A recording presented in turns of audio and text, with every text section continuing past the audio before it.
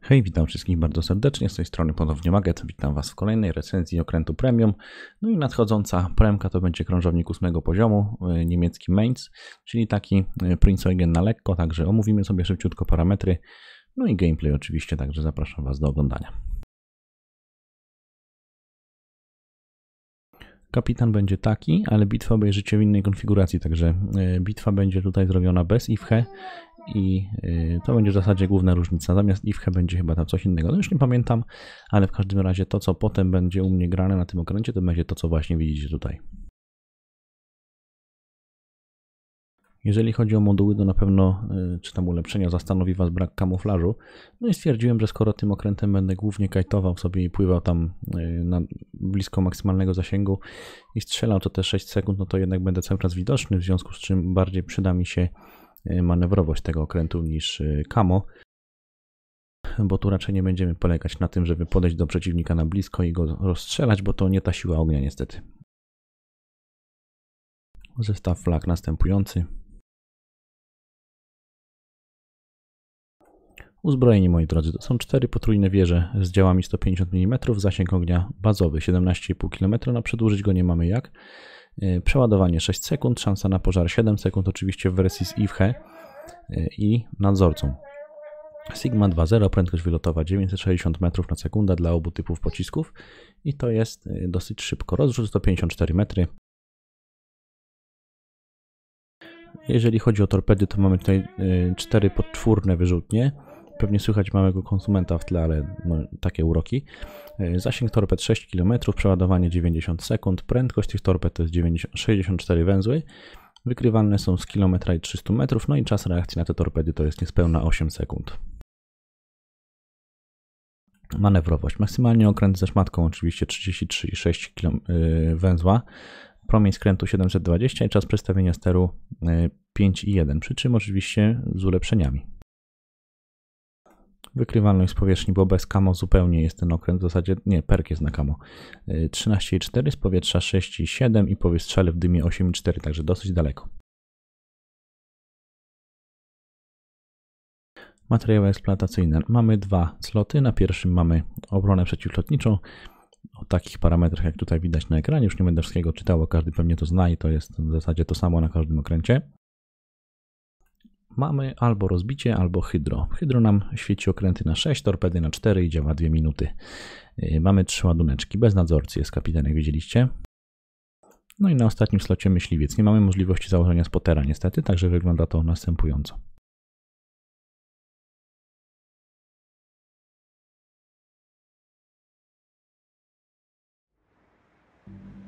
I zostaje, moi drodzy, mówić na sobie bitwę teraz tym okrętem, jak się tym okrętem gra. Ja tu sobie jeszcze na karteczce wypisałem takie małe, y, szybkie podsumowanie, jeżeli chodzi o porównanie tych okrętów, czyli y, i e, Prinz Eugena. Tutaj mamy, jak widzicie, 42,5 tysiąca HP, y, na Eugenie mamy 45, przy czym tam mamy naprawkę. No i to jest bardzo istotna różnica. Zwłaszcza, że to są oba okręty tieru 8, więc no, Eugen będzie zdecydowanie dłużej potrafił funkcjonować w bitwie. Tu mamy 150, tam mamy 203. Yy, obrażenia z pocisków tutaj odamkowo burzących Mainz ma 1700, Eugen 2,5, yy, 3900 na pepancach i tam mamy 5900, także różnica jest dosyć spora. Przy czym przeładowanie tu wynosi 6 sekund, tam 13, także no jest też tutaj różnica konkretna. Yy, no ale tam jeżeli podejdziemy do przeciwnika na blisko, no to tymi 203 jesteśmy w stanie zrobić mu porządną krzywdę. I Y, tam warto mieć kamuflaż. Tutaj będziemy raczej trzymali się w okolicach maksymalnego zasięgu i palili przeciwnika. I ta bitwa, którą oglądacie, będzie zrobiona, y, jest zrobiona bez IFHE, z ekspertem w wyburzaniu, wszystko pod pożary, co się dało, to zamontowane. No i tych pożarów nie było dużo, więc stwierdziłem, że jednak założę tutaj IFHE, tak jak wam pokazywałem kapitana na początku. Y, większość parametrów tego okrętu mają bardzo podobne, zwłaszcza ułożenie pancerza tam jest niemal identyczne. Uzbrojenie torpedowe się różni. Tu mamy poczwórne wyrzutnie, tam mamy potrójne, ale zasięg i prędkość torped jest to samo. E, promień skrętu na Eugenie wynosi 8,7, przy czym przypominam, tam nie ma tych modułów, które są założone tu. Tu jest 5,1, e, czas przestawienia steru, nie promień skrętu i 8,7 na Eugenie. A promień skrętu, o którym mówiłem wcześniej, to jest 720 tutaj i 770 na Oigenie. Także mimo tych ulepszeń, które są założone na męcie, no to nie jest to jakaś kolosalna różnica, 50 metrów tylko. No i jak widzicie, okręt jest taki właśnie do grania na dystansie. To nie jest okręt, już mówię od razu, do wyciągania bitew. On potrafi tam trochę tego damage'u zrobić. No, szansa na pożar nie jest jakaś kolosalna, ale jak widzicie, nawet tutaj pociski bez IFHE potrafiły dosyć konkretnie sobie radzić z niszczycielem. Wydaje mi się, że lepiej ten damage mieć nieco bardziej stabilny i wyższy, i jednak to IFHE zamontować kosztem tam tych kilku procent na pożarach, bo tam chyba było 11, jeżeli mowa była o e, niezakładaniu IFHE, czy może nawet mniej.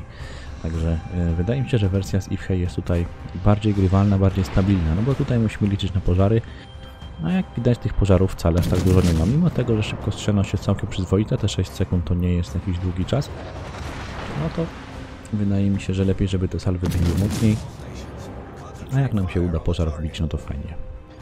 Y, Pelotka jest też dosyć y, przyzwoita, nie jest to może y, okręt, który jest w stanie się obronić przed każdym okrętem, przed każdymi samolotami, które do niego przylecą.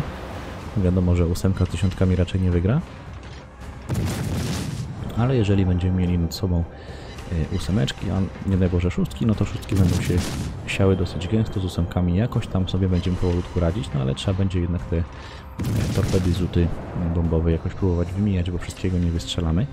Może nam tutaj troszeczkę pomóc spotter, ale to jest jedna z gorszych mechanik działających, czy tam nie działających w Ford Warships, także za bardzo nie ma co na niego liczyć. No i właśnie u mnie ten okręt będzie tego typu do rozgrywki. To jest takie, wydaje mi się, że to jest kadłub Prinzogena połączony z siłą ognia kutuzowa, przy czym no tu oczywiście nie mamy dymu, różnica z kutuzowem, no i nie mamy naprawki, różnica, różnica z Prinzeugenem, także wyciągnięte jakieś tam cechy z dwóch okrętów, pozbawione tego, co było w nich najlepsze, no i mamy kolejną premkę. No to jest typowy lekki krążownik, jeżeli chodzi o artylerię, ale jak widzicie ta parabola nie jest jakaś tam mocno wysoka, więc szukanie osłon terenowych będzie dosyć problematyczne. Jeżeli już coś sobie chcemy znaleźć i strzelać za tej wyspy, to albo musi być ona niska, albo musimy stać dosyć daleko od niej, żeby te pociski jakoś tam przelatywały. E, prędkość wylotowa jest niezła, tak jak Wam wspominałem 960 metrów na sekundę, także dosyć szybko te pociski dolatują do celu, nie musimy brać ogromnych poprawek, ale no tak jak już wspomniałem na początku, nie jest to okręt, który yy, jakoś tam istotnie wpływa na szale zwycięstwa w przy czym uważam, że Eugen też nie jest takim okrętem, bo ja w podobnym stylu, też raczej tak w okolicach 14-15 km przeciwnika się trzymam i raczej sobie palę. No chyba, że już ktoś ewidentnie chce dostać cytę, no to ładuję pepance i walę po butach. Ale wydaje mi się, że Mainz też jest takim raczej okrętem, no nie mówię, że to jest okręt zły, bo taki no, wiem, że to modne słowo ostatnio, przyjemny okręt, żeby sobie popływać, podenerwować przeciwnika, no bo 6 sekund reloadu na tylu działach to taki trochę Hinden na ósemce, z tym, że nosiła ognia trochę nie taka, był kaliber mniejszy, wytrzymałość gorsza, no ale można sobie tutaj poeksperymentować, powkurzać kogoś e, właśnie takim e, ostrzałem. I wydaje mi się, że to jest okręt, na którym możemy bez problemu sobie tutaj no, odpalać ten specjalny talent niemieckiego kapitana, czyli przyspieszenie o chyba 7,5% przeładowania głównej artylerii przy 140 trafieniach, także to jest dosłownie chwila, bo no, przy takiej szybkostrzelności ciężko tego nie wbić. I będziemy sobie mogli, moi drodzy, E, pływać w tej okolicy 17 km. No, pociski mamy szybkie, więc nie będziemy mieli też dużych problemów z tym, żeby w przeciwnika trafić. E, no i cóż, w zasadzie wydaje mi się, że czym ten okręt się charakteryzuje, jak nim grać Wam określiłem. Gdybym miał go ocenić, tak od 0 do 10, to dałbym mu 6,5. Myślę, że na pewno nie więcej. Tutaj widzicie e, bitwę z kąta mojego takiego eksperymentalnego, prasowego. Dostałem je od Wargamingu, także nie było, żeby nie było, że multikonto czy coś. To jest właśnie e, konto do ogrywania różnych e, dziwnych konfiguracji okrętów. I do tego właśnie będzie służyło. Także sprawdzałem tutaj kilkukrotnie wersję z IWHE. Tu jest akurat wersja bez IWHE i najlepszy wynik jaki mi tutaj wsiadł na tym okręcie, no to właśnie był w tej opcji bez tego IWHE. Z nieco większą szansą na pożar, także e, zostawiam Wam to oczywiście do wyboru. Możecie grać tak i tak. Czy ten okręt warto kupić? No, hmm. powiem Wam, że jeżeli chodzi o lekkie krążowniki na ósemce, to zdecydowanie lepszy od niego jest Bayard, bo on ma tą parabolę wyższą. Y, Wydaje mi się, że tam lepiej tłucze troszeczkę tymi pociskami i będzie nas y, nieco trudniej trafić, jeżeli chodzi o pływanie na otwartej wodzie, bo tam mamy dopałkę, no to już na pewno troszeczkę przeciwnika zmyli. A ten okręt, no, Prince Eugen wydaje mi się solidniejszym okrętem niż to, a Bayard y, jako lekki krążownik będzie też punktowany wyżej. Bayard jest jednym z moich ulubionych okrętów, więc na pewno y, dostałby dosyć wysoką notę.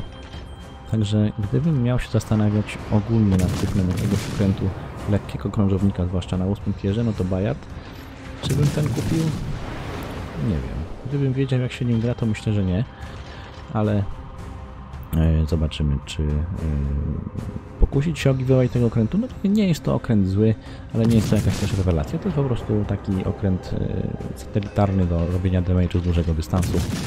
Spisuje się w tym tak średnio bym powiedział, no stąd te, też te 6, no dajmy 6, nie więcej. 6,5 to może trochę przydługo. Na małym dystansie y, z większymi kalibrami będzie problem. Oczywiście możemy na pepance przełączyć, wtedy troszeczkę więcej tego damage'u zadamy, ale wydaje mi się, że gdybyśmy spotkali, y, tutaj pływa w tej bitwie również Eugen, gdybyśmy spotkali się z nim jakoś na blisko, no to raczej on by y, nas sobie na spokojnie zmienił, a nie my jego.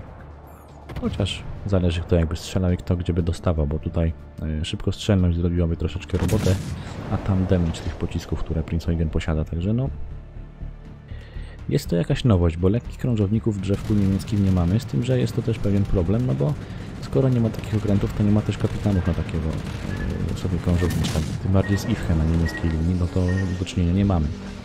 Także wydaje mi się, że no dosyć odmienny okręt od tego, co znamy w niemieckim drzewku.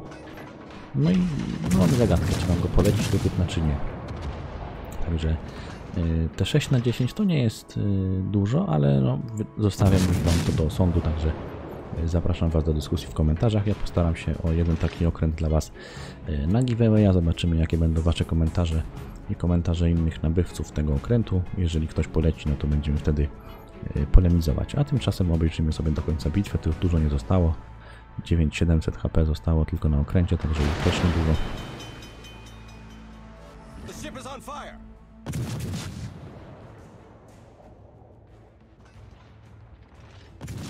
Sigma 2.0 w zasadzie na krążowniku przy takiej szybkostrzelności, co nie jest dosyć istotne, to jest raczej parametr najważniejszy dla pancerników i wielkich krążowników. Tam ma to znaczenie. Tutaj przy takim deszczu pocisków to raczej nie ma większego wpływu na to, czy my e, trafimy tych pocisków w salwie 6 czy 8.